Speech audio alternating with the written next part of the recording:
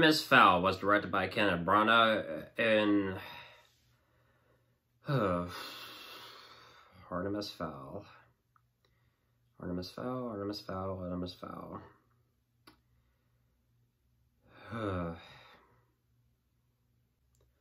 so the film tells a story about Artemis Fowl II, a 12-year-old criminal mastermind who is on a quest to save his father from a, a, a criminal fairy and they're trying to gain this MacGuffin that will eventually gain this very unlimited power, and this is the plot. And also, there is a fairy of armies that are led by Judi Dench. So much wasted talent went into this movie, and not to mention that this uh, the film's budget was 125 million dollars and it's being dumped on Disney Plus. And I can see why. I really can see why. And trust me, I have not gotten way into my issues with the movie. We'll get there, don't worry. Mostly, I mean, now when it comes down to the movie's runtime, uh, 94 minutes, even at that runtime though, this movie does something right and the wrong way possible, and that it is boring and it's painful to sit through. Uh, I'm happy that I didn't see this in theaters. I mean, theaters are uh, uh, the, well, there's only one theater opening uh, that's near my area, and it's the Baxter Avenue Theater. Um, uh, a quick side note, I mean, like, theaters are slowly opening, um, well, with things semi calling down. Keyword being semi. But, uh, all things aside, uh, mostly when it comes to Artemis Fowl, I can't even call this a good film. Mostly when it comes to this film, I mean, this is, of course, based off of a popular book series, which I had not read back then, mostly from my childhood. Um, I remember reading the Harry Potter books a lot, and those I mostly paid attention to. I never really, uh, mostly Artemis Fowl, the, the Artemis Fowl books never really caught my eye for some reason, and I'm kind of intrigued to read the books now uh, and see how it is compared to this film mostly when it comes to the film, it's a major disappointment and a waste of such good talent, especially with some performances. I mean, mostly from, I mean, especially when you have like uh, actors like Colin Farrell and of course Judi Dench.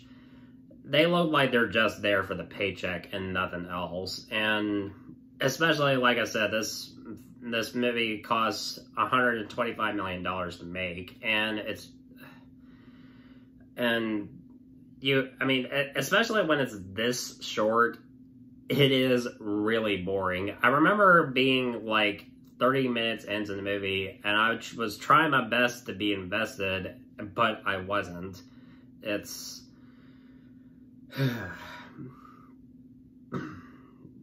the fight scene with uh, the fairy and the troll, that was. Well, it was an action sequence, but not a very good action sequence. But uh, let's talk about this fairy. She is a fairy who is part of this, say, police force. Uh, a, a, police force uh, that's consisted of like magical creatures like uh, fairies and centaurs. And she's also on a side mission. To, uh, she's on a quest of her own to clear her father's name, who um, I'm gonna get into some minor plot details and some spoilers, and so that if you haven't seen the movie yet, that is your warning. So she's on a quest to clear her father's name because she, uh, I mean, for all her life she's been told that uh, that she uh, that her father was a criminal, and while in truth, uh, he was in league with Artemis Fowl Senior to protect this MacGuffin that I mean holds like extreme great power, and if it fell into the wrong hands, it could basically mean the end of the world, basically. And uh, so Ar- uh, Artemis Fowl II is trying to uh, get this as a bargaining chip to uh, get whoever's, uh, I mean, this, uh, well, the the villain is very forgettable. I, uh, because he rem- uh, the villain she remains in the shadows throughout most of the film, and I get that they're trying to build up suspense and make her intimidating, but I cannot find her that much intimidating, and she's forgettable in this film. like I said, I felt intrigued to read the books because after watching the film, I just can't. Uh, I don't know if I can. I'm not sure if I can even make a comparison. even when the movie is trying to be dramatic at times, throughout like some of the movie, it just dumps. Ex- uh, it just dumps exposition and just tries to shove it down our throats to the point where they're like the filmmakers are acting like they're just trying to explain everything to us like we're fucking children, like with drool hanging out of our mouths. That's kind of how I felt throughout most of the movie while while I was watching it. I think I kind of did drool because I fell asleep uh, on one scene. Uh, good thing I remembered where I was so I can finish watching the movie so I can do this review. But mostly it's there are there are moments where I try to get invested, even when it's trying to be more dram- dramatic, and even one scene where it's trying to get so emotional, and it's just it's just this this acting. It's just and the cinematography. Some of it works, some of it doesn't. And mostly it comes down to some. It, eh, there are some where it can get a bit shaky and this slow mo effect, whatever that bullshit was. It's just. I don't know what the hell they were thinking. Some of the visual effects, I mean, uh, some of them work, some of them don't. The troll looked hilariously awful. And there's a giant dwarf played by Josh Gad. That's right, Olaf himself.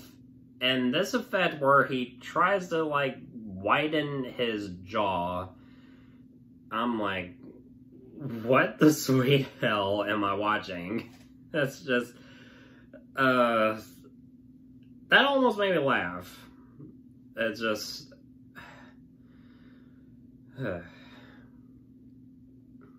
As for Ferdia Shaw, who played Artemis Fowl II,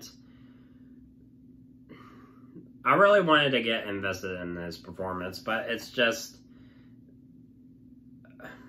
his acting needs work, and I really wish the best for him because I hate to trash actors, but I really do wish the best for him, and I mean that out of gener- uh, generosity. It's just honestly, this kid needs a better agent.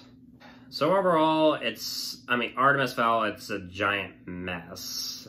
It's boring, and even when you're trying to get invested, you'll still find it boring, and you'll be asking, why did I waste 94 minutes of my life just watching this film? And I still end up scratching my head, asking myself that question.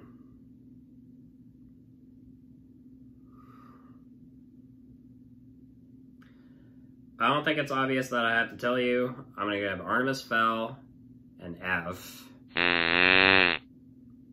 So yeah, another disappointing movie for 2020. Uh, so many new releases I want to see. Uh, two have been delayed. Um, of course, I'm talking about Tenet, which has been pushed back further in July, and one that has pissed me off was Wonder Woman 1984. I mean, eh, first it was original. I mean, it was originally supposed to come out last year in November. Then it got pushed back to June because of reshoots. Then it got pushed back to August, mostly because of the pandemic. And now even further in October. It's just I feel so bad for the people who made that movie. It just keeps getting pushed back. Same with New Mutants, but it's I mean it's re, its release date still remains the same as far as I know. When it, uh, I think I believe sometime in August. So yeah, I definitely look forward to seeing those movies. But I mean, I'm sure they'll be a whole lot better than this. But yeah. So, what were your thoughts on Artemis Fowl? Let me know in the comment section below. And it was nice to talk about a new release, even though I wish I would have watched a better movie. But yeah, so thank you so much as always for watching and supporting my channel. I'm looking forward to doing more videos really soon. And if you want my thoughts on old or new movies, of course, you know where to find me.